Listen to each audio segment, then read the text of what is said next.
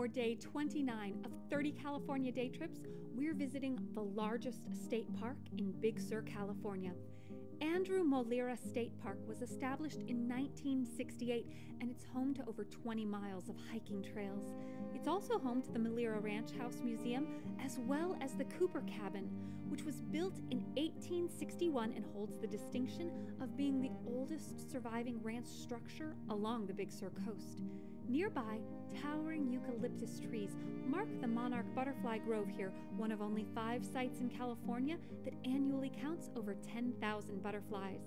If you love sandy shorelines, this park has one of the most magnificent beach views of Molera Point, but to reach the water's edge, you do have to cross the Big Sur River, which just makes this California adventure more fun, in my humble opinion.